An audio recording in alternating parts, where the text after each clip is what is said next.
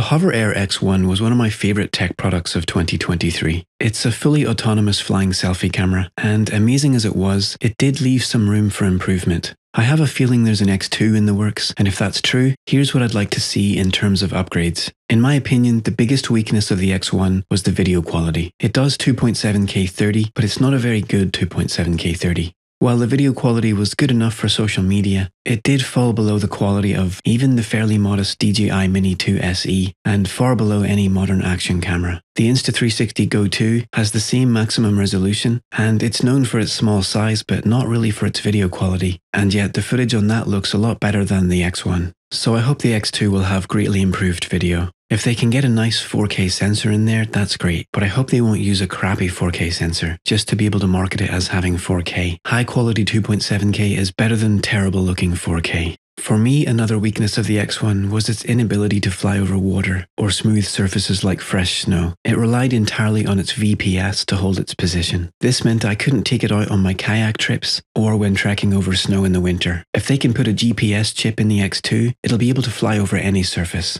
And if they do add GPS, it would automatically bring another improvement, an increase in altitude. The X1 maxes out at 15 meters because it relies on the visual positioning system. Switching to satellites would allow it to go much higher, get more useful aerial shots, and even do zoom outs from rooftops and other tall places that are not possible with the X1. I didn't really have a problem with the 11 minute flight time of the X1, but if they can stretch that to 15 minutes or even 13 without making the device any bigger, it would be very much appreciated.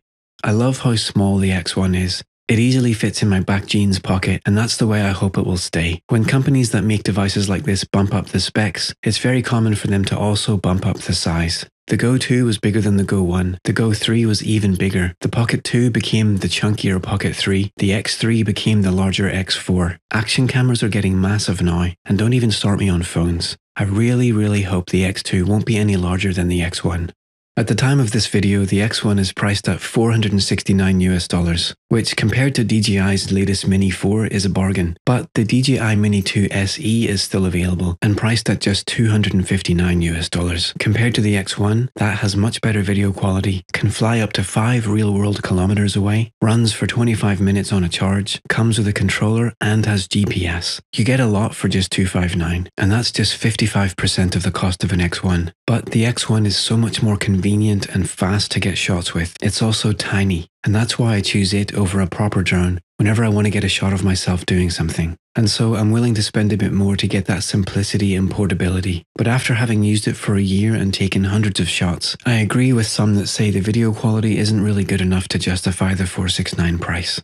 And so I think the X2 would sell by the truckload if they could greatly improve the video quality and get the price down to, say, 399. I doubt that's going to happen because companies rarely add higher specs at the same time as slashing prices, but I just think that number 399 would be much more appealing to people who like the idea of this product but are on the fence because of the price. So that's my wish list and some of my thoughts. I hope it's true that there's an X2 on the way and that it will have a better sensor and be able to fly over water. I'd love to know your thoughts. Have you heard any rumors about the X2 that I haven't mentioned? Is there a feature the X1 was missing that kept you from buying it? Let's discuss in the comments section.